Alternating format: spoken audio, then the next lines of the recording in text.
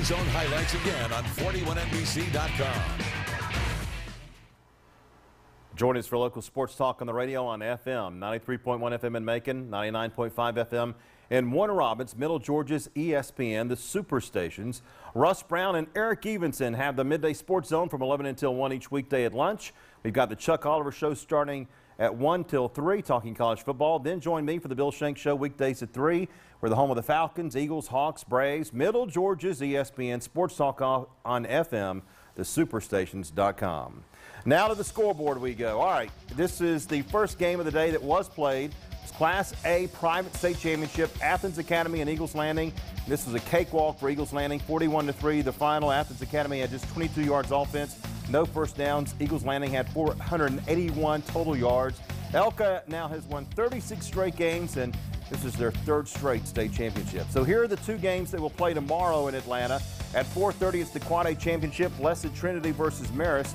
Blessed Trinity beat Mary Persons by three touchdowns last week. They've never won a state title. Marist last won one in 2003.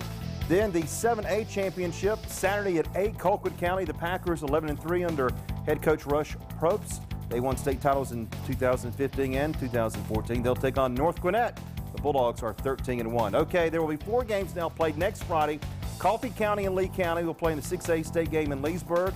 Lee County 13 and 1, Coffee 10 and 3.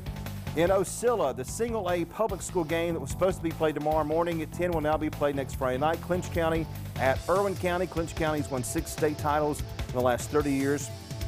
Irwin County hasn't won it all since 1975. Hapeville Charter will play at Rabun County for the AA State Championship. Rabun County, the top seed, with a 14-0 record. And the big one at McConnell Talbert Stadium, Rome at Warner Robins, both teams 14-0. The Demons will go for their fifth straight state or fifth state championship, not straight, their fifth state championship. Rome looking, of course, for its second straight championship. All right.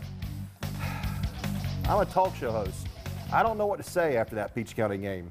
All we can say is Peach County, you did us proud in Middle Georgia. They were great, and you got hosed on that call. We've got one more show. Next Friday night, we'll have complete coverage of the Warner Robins Demons at home for the 5A state championship. We hope you'll join us then. For now, I'm Bill Shanks, and for all of us, at 41 NBC. Good night.